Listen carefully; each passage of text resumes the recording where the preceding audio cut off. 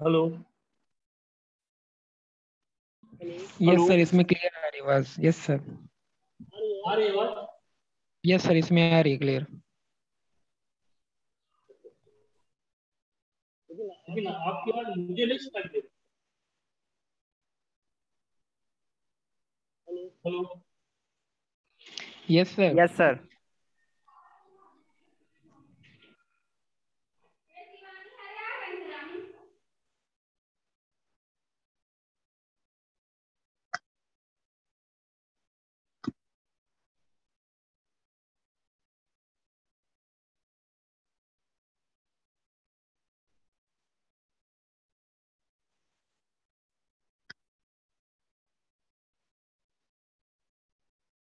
hello yes sir hello yes sir आ रही आवाज़? Yes sir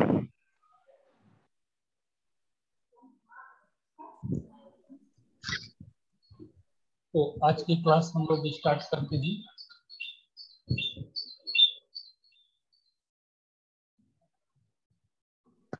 जैसा कि कल की क्लास में हम लोगों ने पढ़ा था कि वेब डिज़ाइनिंग आखिरकार क्या होती है? कैसे वेब डिज़ाइनिंग वर्क करती है? तो हम लोगों ने तीन वेब डिज़ाइनिंग के देखा था। पहला था था एच दूसरा उसमें है सी एस एस तीसरा है जावा आप लोगों ने जिसका स्पीकर ऑन हो कृपया वो स्पीकर को थोड़ा सा कर दो क्योंकि मेरी आवाज़ सुनाई दे रही है। ठीक है? प्लीज़ हेडफोन यूज़ कर लें उसके बाद क्लास यूज़ कर ठीक है? तो आइए आज हम लोग एचटीएमएल स्टार्ट करते हैं। ये स्क्रीन आप लोगों को स्क्रीन आप लोगों को दिख रही है? यस सर दिख रही है। Okay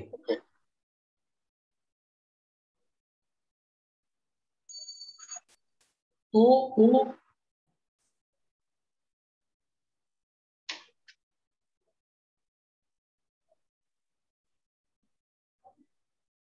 what is what is HTML?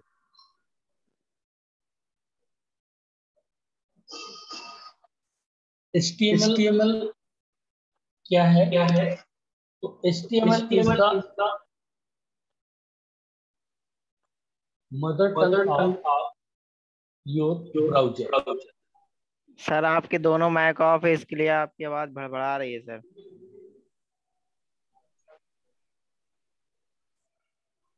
मेरे माइक ऑफ़ है। सर दो आईडी आपकी लॉगिन है, एक रोशन सेन और एक सदगुरु इंस्टीट्यूट। तो सर दोनों के माइक कौन है और उसी में दोनों से आवाज़ आ रही है?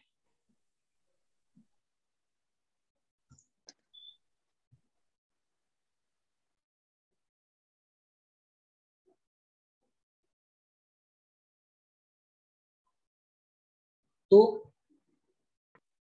हम इसमें HTML is the mother tongue of your browser जो HTML है, वो क्या है? हमारे ब्राउज़र का मदर टंग मदर टंग का मतलब क्या होता है? मातृभाषा। मदर टंग का मतलब क्या होता है? मातृभाषा। जो हमारा ब्राउज़र होता है वेब ब्राउज़र होता है तो HTML जो है, वो हमारे ब्राउज़र की मातृभाषा है। क्योंकि ब्राउज़र जो है, जैसे बच्चा छोटा होता है तो माँ उसकी बात को कितना बेहतर तरीके से समझ सकती है, बिहाफ आपका अन्य लोगों की और वो छोटा बच्चा भी अपनी माँ की बात को बेहतर तरीके से समझता है कि मेरी माँ मुझसे क्या चाह रही है। उसी तरह से जो ब्राउज़र है तो एचटीएमएल उसकी मातृभाषा है। एचटीएमएल का जो पूरा नाम है, वो है hyper text markup language. HTML का पूरा नाम है हाइपर टेक्स्ट मार्कअप लैंग्वेज तो ये हाइपर टेक्स्ट मार्कअप लैंग्वेज का मतलब क्या होता है? हाइपर टेक्स्ट मार्कअप लैंग्वेज जिस डॉक्यूमेंट्स के साथ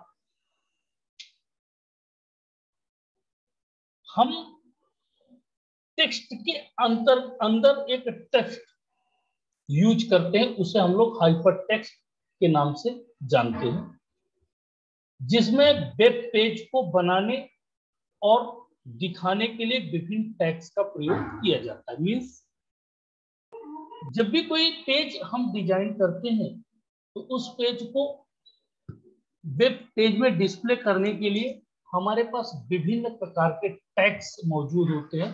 उन टैग का प्रयोग करके हम चूँकि देखिए डायरेक्टली हम वेब ब्राउज़र के ऊपर कोई जिसे अभी तुम लोगों ने सी लैंग्वेज पढ़ी थी तो सी लैंग्वेज में जैसे कोई मैसेज प्रिंट करना होता था तो क्या करते थे हम लोग? प्रिंट और जैसे कुछ हमें लेना होता था तो हम क्या करते थे? स्कैन अप उसी तरह से हमारे पास एच में कई ढेर सारे टैग्स हमको प्रोवाइड किए गए हैं, जिन टैग का प्रयोग करके हम ब्राउज़र के ऊपर अपने मन माफ़ी चीज़ें प्रदर्शित कर सकते हैं। तो अब वो टैक्स क्या है, वो हम आगे देखेंगे। जब मैं अब आगे आऊँगा, तब तक। Originally L was developed with the intent of defining the structure of documents जो एक्चुअली में एच का डेवलपमेंट हुआ था या जो एच डेवलप की गई थी तो उसका एकमात्र कार्य था डॉक्यूमेंट्स के स्ट्रक्चर को बनाना। कैसे डॉक्यूमेंट के स्ट्रक्चर जब देखिए। मान लीजिए, ये आपका एक पेज ये आपका एक पेज अब इस पेज में आप यहाँ पर हेडर डिफाइन कर देते हैं। इसके बाद यहाँ से इसको एक हाशिया दे देते हैं। और लिखने के लिए ये जगह, अब यहाँ पर आपने कोई हेडिंग मान लीजिए दिया, ये हेडिंग अब इसकी कुछ सब हेडिंग है तो आप क्या करते हैं? एक, दो, तीन। फिर इसका फिर एक हेडिंग है, फिर इस तो ये कितना अट्रैक्टिव लगता है? जब हम कोई चीज़ लिखते हैं डॉक्यूमेंट्स को डिज़ाइन करते हैं तो एक्चुअल में जो एचटीएमएल शुरुआती दौर पे एच आई है, उसका मेन मकसद था कि आप कैसे अपने डॉक्यूमेंट्स के स्ट्रक्चर को क्रिएट कर सकते हैं। जैसे क्या क्या हेडिंग कैसी होगी। उसका पैराग्राफ क्या होगा? उसमें लिस्ट लिस्ट मतलब नंबरिंग एक, दो, तीन A B C and so forth how to facility the sharing of scientific information between researchers मतलब जो रिसर्चर्स थे, उन रिसर्चर्स के बीच में जो डॉक्यूमेंट्स रखे जाते थे या जो डॉक्यूमेंट्स बनाए जाते थे, उन डॉक्यूमेंट्स में हेडिंग कैसी होगी पैराग्राफ कैसे होगा लिस्ट कैसी होगी एंड द सो ये सारी चीज़ों को डिज़ाइन करने के लिए एच को डेवलप किया गया।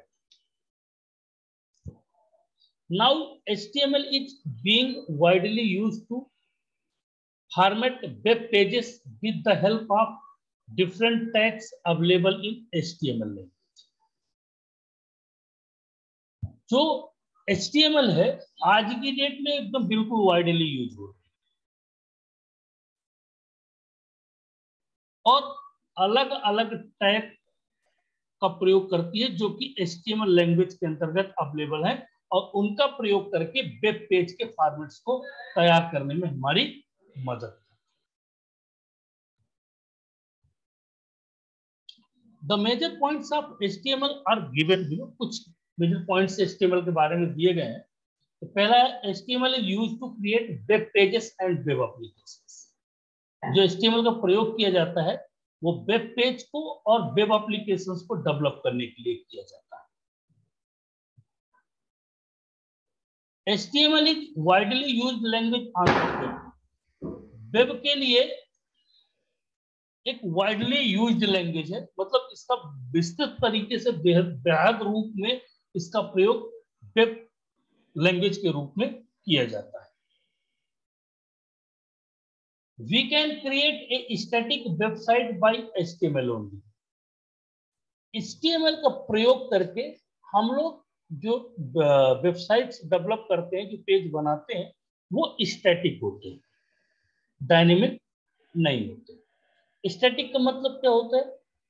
ऐसे पेज जिन पेजों को हम डिज़ाइन करने के बाद उसमें किसी भी प्रकार के अपने इंप्लीमेंटेशन नहीं कर सकते। सिर्फ़ हम उसको क्या कर सकते हैं? देख सकते हैं।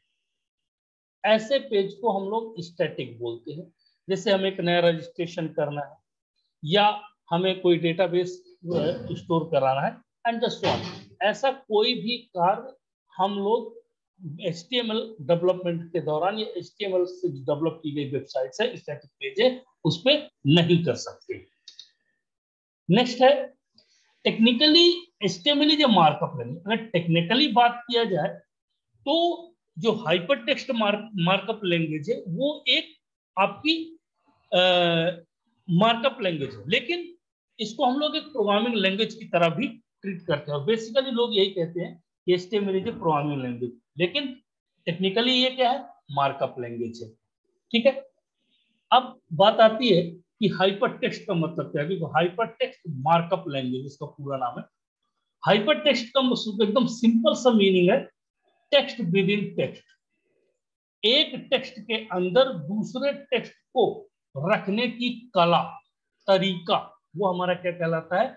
हाइपर टेक्स्ट कहलाता है। जैसे मैं कोई लिंक पेज बनाऊँ और उस लिंक पेज में मैं क्लिक करके जैसे मैं क्लिक करूँ तो मेरे सामने दूसरा पेज ओपन हो जाए ये क्या कहलाता है? हाइपर टेक्स्ट कहलाता है। और मार्कअप लैंग्वेज का मतलब क्या होता है? एक ऐसी लैंग्वेज जो अप्लाई की जाती है लेआउट और फॉर्मेटिंग के लिए। जो टेक्स्ट का डॉक्यूमेंट्स होता है, उसका लेआउट और फॉर्मेटिंग उसका लेआउट कैसा होगा, उसकी फॉर्मेटिंग कैसी होगी?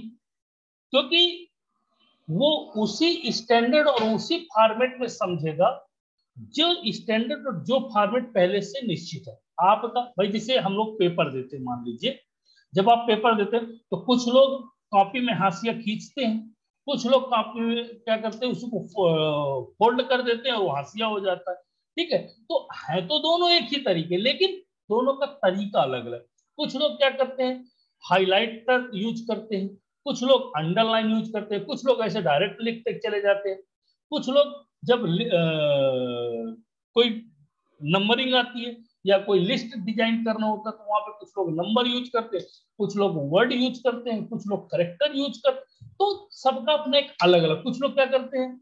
बुलेट यूज़ कर लेते तो सबका अपना एक अलग अलग तरीका होता है। तो यहाँ पर वो तरीका नहीं चलेगा। इसका लेआउट पहले से निश्चित है, फॉर्मेटिंग पहले से निश्चित है कि इसी फॉर्मेट में, इसी लेआउट में आप ब्राउज़र को समझा पाएँगे, तभी इसको हम लोग मार्कअप लैंग्वेज के नाम से जानेंगे। ठीक है? मार्कअप लैंग्वेज में जो टेक्स्ट है, वो इंटरेक्टिव और डायनेमिक डिज़ाइन होता है। It can turn text into the images हम यहाँ पे इमेजेस का यूज़ कर सकते हैं टेबल्स का यूज़ कर सकते हैं लिंक यूज़ कर सकते हैं, इत्यादि। ठीक है? तो ये सारी चीज़ें हम कब यूज़ करेंगे? जब हम टैग के बारे में जान लेंगे। और एक बात मैं आपको बता दूँ एच जो लैंग्वेज है, उसमें जो फॉर्मेटिंग है, जो फॉर्मेट्स है, उन फॉर्मेट को हम हमारे तरीके से यूज़ नहीं करते। पहले से ब्राउज़र के द्वारा वो निश्चित कर दिए जाते हैं।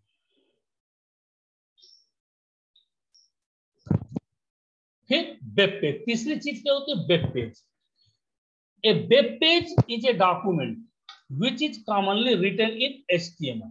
जो वेब पेज होते हैं, वो एक ऐसे डॉक्यूमेंट होते हैं जो HTML में लिखे जाते हैं और जिन्हें ट्रांसलेट कौन करता है? वेब ब्राउज़र का ट्रांसलेट करता है। मीन्स हम लिखते टेक्स्ट को एच पे है और इसके बाद उसको ब्राउज़र पे रन करते इसके बाद जो हमारे सामने आउटपुट आता है, उसे हम लोग वेब पेज के नाम से जानते हैं या हम उसे वेब पेज कहते हैं। ठीक? हिस्ट्री ऑफ़ एच देखिए एच की हिस्ट्री क्या है? टिम बर्नस ली एक रिसर्चर थे।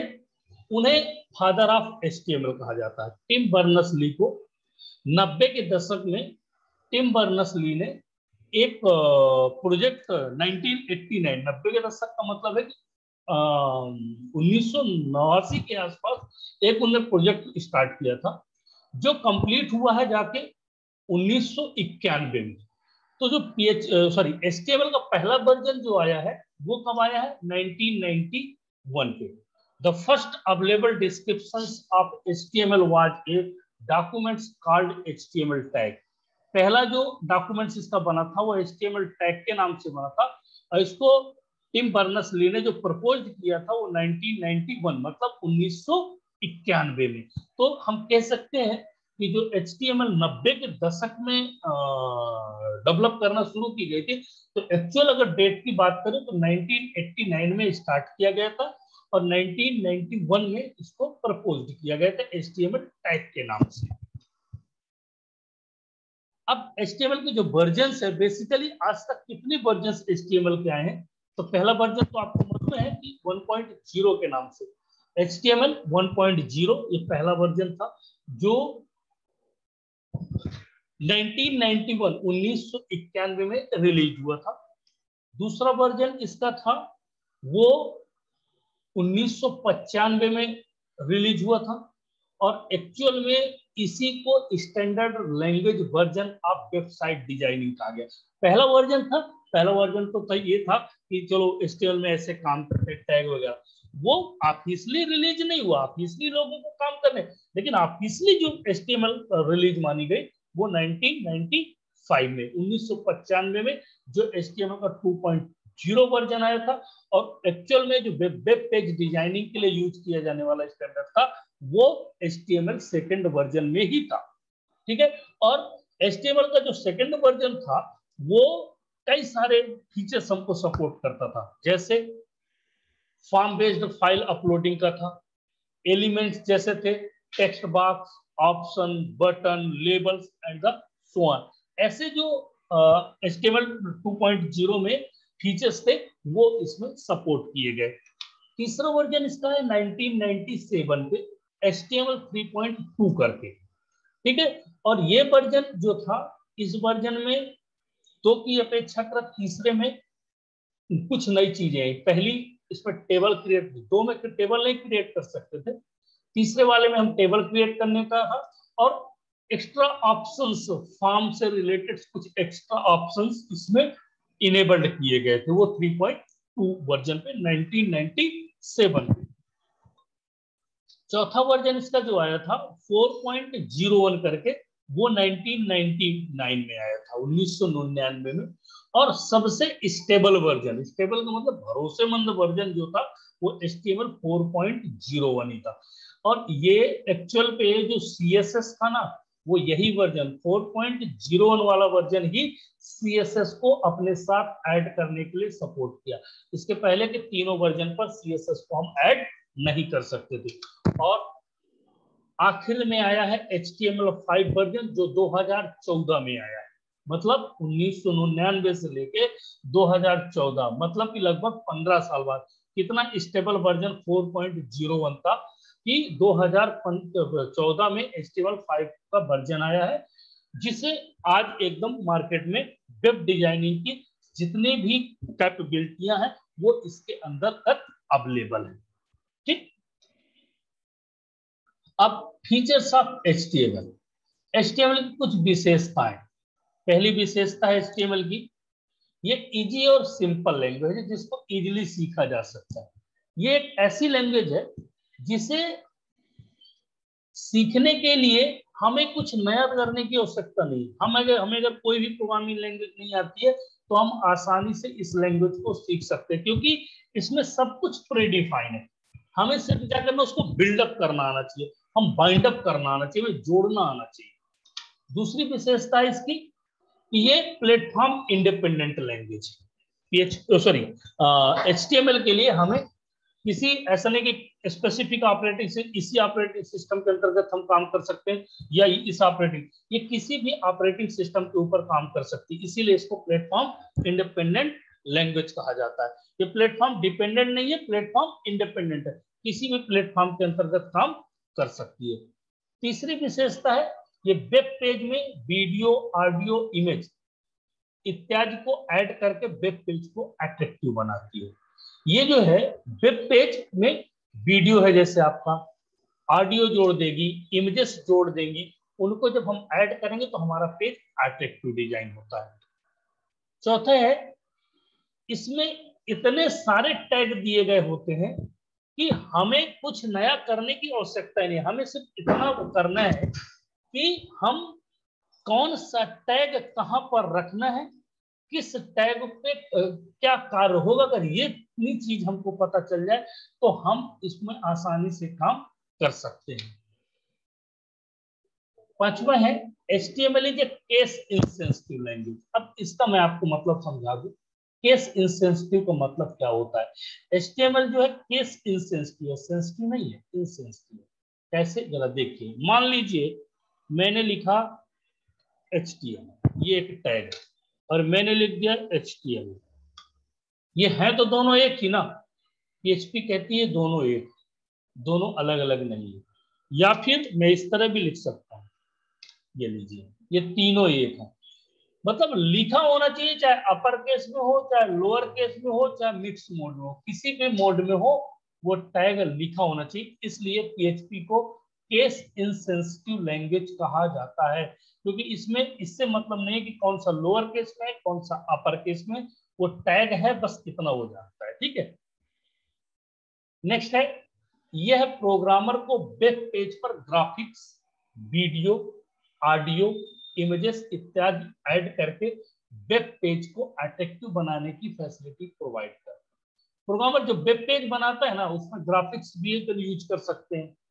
वीडियो भी यूज़ कर सकते हैं, ऑडियो भी यूज़ कर सकते हैं, इमेजेस यूज़ कर सकते हैं, सारी चीज़ें वेब पेज में एक साथ रखकर हम उसे अट्रैक्टिव फैसिलिटी प्रोवाइड कर सकते हैं। यह वेब पेज में प्रोग्रामर को लिंक ऐड करने की फैसिलिटी प्रोवाइड करता है, जिससे आसानी से एक पेज से दूसरे पेज पर जाया जा सकता है। देखिए, ये क्या करता है? लिंक प्रोवाइड करता है। जैसे एक पेज है मेरे पास, उसको मास्टर पेज बोलते हैं। कैसे बनता है मास्टर पेज? जब मैं बनाऊँगा, जब आगे बनाएँगे, तब बताऊँगा कि मास्टर पेज कैसे बनाया जाता है। तो जब मास्टर पेज हम बनाते हैं तो उस मास्टर पेज में हम क्लिक करते हैं। मास्टर पेज मतलब जस्ट लाइक सुनो। जैसे आप लोग क्या करते हैं वर्ड एक्सेल तो चलाया होगा। वर्ड में आप फ़ाइल मेनू देखे होंगे, एडिट मेनू देखे होंगे, व्यू में। उसमें जब आप सब मेनू क्लिक करते हैं तो आपके पास दूसरे पेज में पहुँचने के ऑप्शन आ जाते हैं। वो क्या कहलाता है? लिंकिंग कहलाता है। ठीक है? तो ये आज के लिए इतना ही काफ़ी है। ये आज मैंने इतना बताया है। इसमें यदि किसी को कोई प्रॉब्लम हो तो मुझे बताइए। मैं उसकी प्रॉब्लम सॉल्व करूँ। नेक्स्ट क्लास जो भी होगी, उसमें एक नए कॉन्सेप्ट के साथ आएँगे। किसी कोई प्रॉब्लम कुछ पूछना है?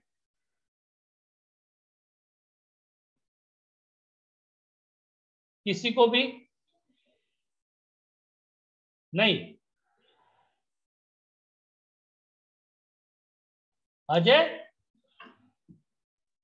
यस सर क्या कोई प्रॉब्लम नो सर चलो आयुष? नो सर किसी को नहीं है? अरे अजीत तो वगैरह किसी ही कोई प्रॉब्लम नहीं है?